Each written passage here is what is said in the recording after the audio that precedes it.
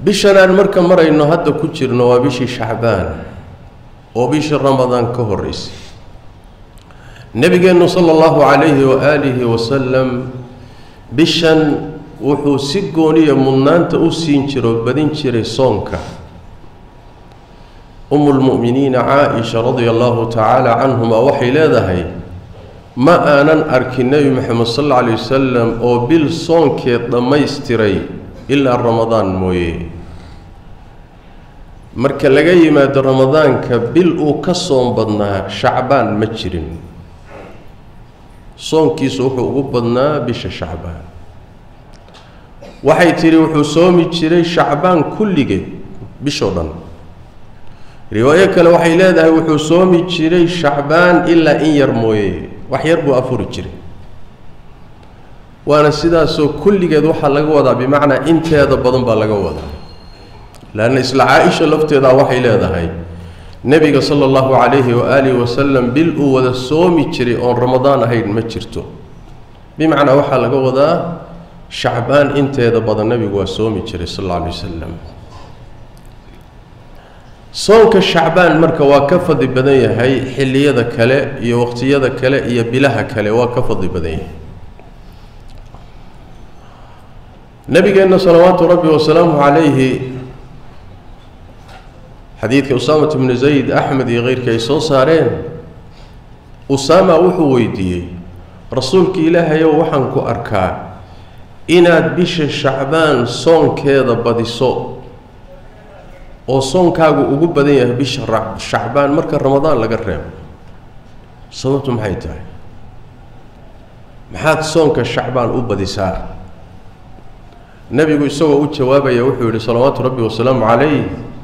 Bishaasi waa bil ay dadku moog yihiinoo halmaamaan daacada iyo soonka iyo khayrka ay halmaamaan. Maxaa yeele waxay u dhaxaysaa laba biloodoo la weyneeyo. Bil waa bishii ka horreyso waa rajab oo waxay ka mid tahay afarta bilood ee xurmada leh sida khaaska ashhurulxurumka bilna waa bisha ka dambayso waa ramadaan oo waa bishii soonka iyo qur'aanka oo labada biloodbad mudnaan bay dadku siiyaan. Bishanaa marka dhexdooda gashay waa la halmaamaa. Waa la halmaamaa. Dadka intooda badan waa moog yihiin. Sidaas daraaddeed baan soonkeeda u badinayaa buu nebigu yuri sal alla alay wasalam ta labaad nebigu wuxuu yihi sal alla alay wasalam bishan shacbaan waa bisha acmaashii sanadka la sameeyey. Kor loo qaado ilaahay loo geeyo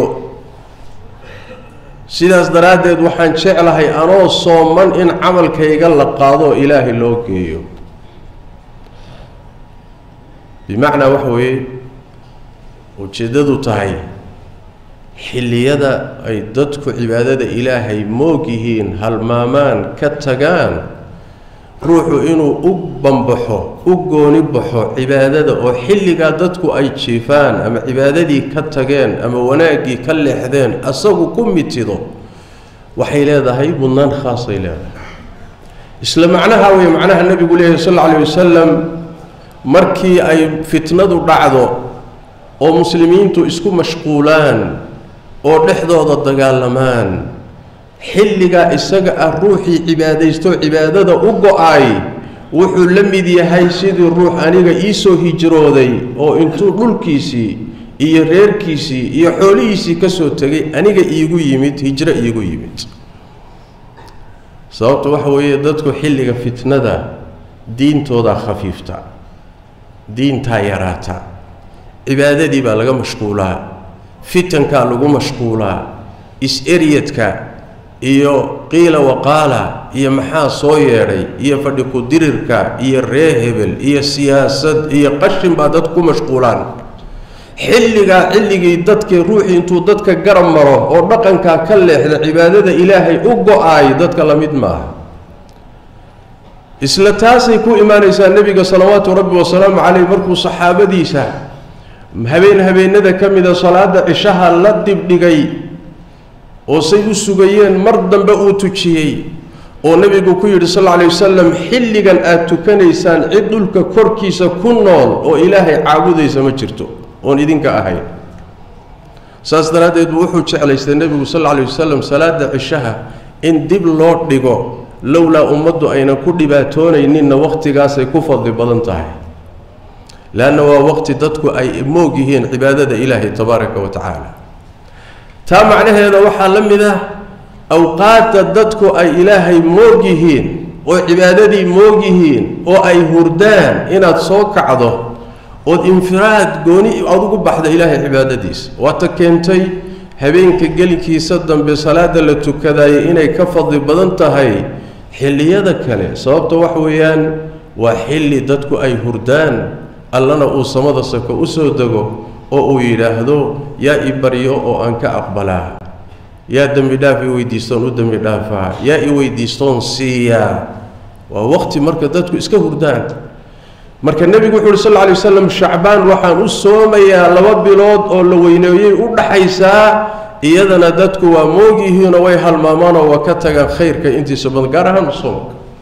Ta labaadna nebigu wuxu uhi sal lla alay wasalam acmaashaa kor loo qaadaa. Acmaasha ilaahay loo geeyo ilaahay addoommadiisa xilli walba waa ogsoon yahay xogogaalna waa u yahay waxna kama qarsoona. Laakiin malaa'igta acmaasha bini aadamka qoraysa ayaa waxay samaysaa asbuucii camalkay qaadaa markii asbuucu soo dhammaado maalinta khamiista ah ayay camalkii usbuuca la sameeyey ee ay diiwaan gelisay bay malaa'igtu sii qaadaa allah bay u geysaa sanadku markuu soo wareego bisha shacbaan la soo gaadhana sannadkii wixii la sameeyey ee malaa'igtu diiwaan gelisay ayay sii qaadaan oo ilaahay u geeyaan. Sidaas daraaddeed baa nebigu wuxuu yidhi labadaba waxaan jeclahay in camalkayga la qaado anoo sooman. Khamiistana saasuu u soomi jiray shacbaanna sidaasuu soonkeeda u badin jiray nebigu sala allahu calayhi wa aalihi wasalam xikmad weyn baa marka ku jirta xadiidka waxaynu ka qaadanaynaa axaadiistaasi in bisha shacbaan inteeda badan la soomi karayo. Waxaa macnahaa sii caddaynaya xadiid kaloo abu hurayra wariyey oo bukhaari iyo muslim soo saareen oo nebigu lehy sal alay wasalam ramadaan haka ha kala hormarina. Maalin soonkeed ama laba beri soonkeed ha ka hormarinina ilaa ciddii lahaan jirtay. Soon uu horay u soomi jiray oo kaasi ha soomo xadiidkaasina wuxuu tilmaanayaa shacbaan inteeda badan in la soomi karayo. Axaadiistaa markii laysu geeyo waxay daciifinaysaa ama meesha ka saaraysaa xadiid kale oo dhahaya shacbaan haddii dhexdeeda la gaado niskeed oy bishu kala badhanto ha soomina wixii intaa ka dambeeya ilaa ramadaan laga gaadho. Xadiidkaasi inuusan sugnayn bay tilmaamaysaa axaadiistaa hore inuusan sugnaynna waa madhab mutaqadimii almutaxadisiin muxadisiinta raggoodii hore waxay qabeen xadiidkaasi inuu daciif yahay ama munkar yahay lianna sanadkiisana dacfi baa ku jira. Axaadiista kalena waa khilaafay. Sidaasay culimmada muxadisiintu u yidhaahdeen ma sugna sida cabdiraxmaan ibnu mahdi oo kale alimaamu axmed abu zurcat alraasi alahram a'immadii hore. Waxay yidhahdeen xadiidkaasi ma sugna shacbaan haddii niskii la gaadho ha soomina ma sugnay dheh. Axaadiista sugani macnaheedu waxa weeyaan sooma. Ilaa ramadaan laga gaadho sooma. Allahuma maalin ama laba beri ka hor haddaad isleedahay uun dadaal maadan horay u soo soomin. Laakiin labada ramadaan maalinka ka horreeya ama labada beriya ka horra saad tiri usan ramadaan ku dhaafina dadaal ahaan taxadar ahaan lama ogola lama ogolo horay haddaadan u soo soomayn. Taasi qodob weeye oo sunnadu waxa weeye bishan shacbaan in soonkeeda la badiyo. Culimmadu waxay ku dareen xikmadda ku jirta waxaa ka mid a inuu ruuxu u diyaargaroobo soonka ramadaan oo nafta loo diyaariyo soomidda ramadaan.